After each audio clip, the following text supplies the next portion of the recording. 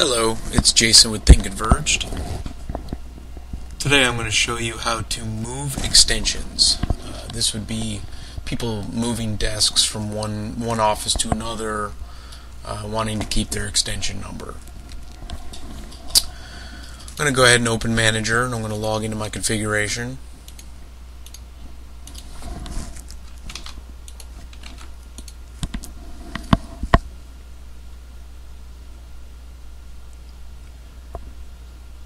And on the left hand tree, just so you kind of see what I'm talking about, uh, I'm going to show you the users here.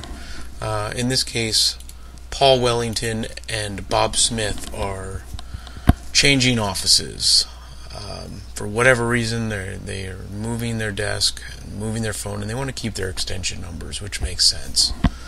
Um, so, what we're going to do is on the left hand side in the menu tree, we're going to select extensions. Now, based on for what we saw in users, we know it's 8503 and 8504. So under extensions, I'm going to find those two extension numbers.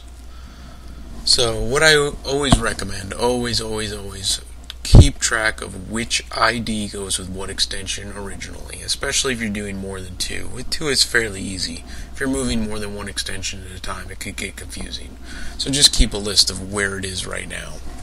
Uh, in this case, ID number 4 has 8503 and ID number 3 has 8504. If I want to flip-flop these two extensions or swap their desks or their position, I'm simply going to just backspace over where it says 8503 over here on the right hand side and change it to 8504.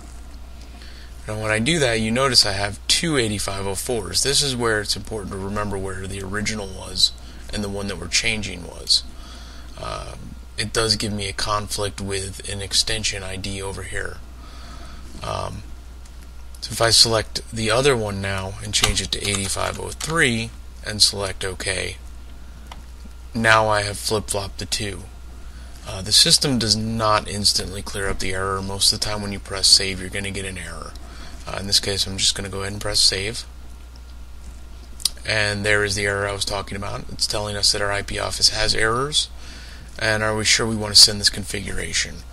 Well, looking at this, we know we really don't have any errors. We've cleared them up. So we're just going to press yes. And it's going to bring up our reboot mode. From here, uh, what I recommend is if you can, either do this before or after hours. Uh, you know, it's usually the last thing of the day or, or before the day starts. You can just do an immediate reboot. The phones will come up in their proper location. Uh, even though this is a mergeable change, quote unquote, from 4.2 and up, uh, it really does not take place. There's other steps you have to make uh, that make it a little more complicated for that change to actually happen. So I recommend an immediate. Uh, you could also do a when free.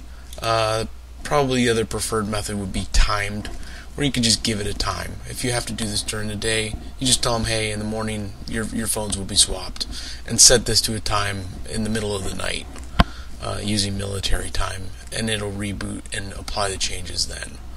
So in this case, I'm just going to go ahead and do an immediate press OK. Once this bar goes through, my IP office is now rebooting.